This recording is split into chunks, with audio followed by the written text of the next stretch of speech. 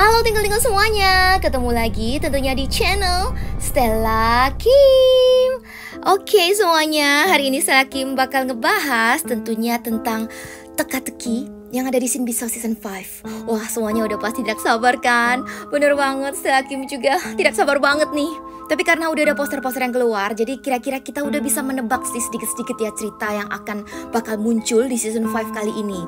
Tapi memang ada berita baik dan juga ada berita yang meresahkan. Aduh, pokoknya Serakim bakal bahas lengkap-lengkapnya ya.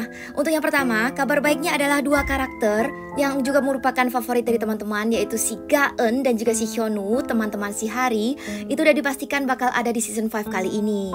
Tapi yang paling meresahkan itu yaitu karakter baru yang berambut Tosca hijau itu bernama Chonga yang udah digosipkan bakalan ada cerita cinta segitiga lagi di antara Kang Lim dan Hari. Apakah benar cewek yang satu ini adalah adik kandung dari Kito Hyun? Atau kalau dia hanyalah orang suruhan yang disuruh untuk merayu si Kang Lim? Atau memisahkan Kang Lim dan Hari? Atau merusak hubungan Kang Lim dan Hari? Aduh entah, pokoknya setelah Kim juga penasaran banget teman-teman.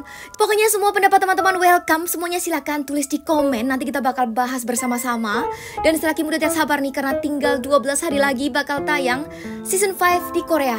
Nah, semuanya stay tune, jangan lupa subscribe, like dan juga nyalakan tombol notifikasi tentunya di channel Stella Kim. Aduh, pokoknya merasakan banget ya. Siapa sih dia? Siapa sih dia? Uh, kesel, kesel, kesel.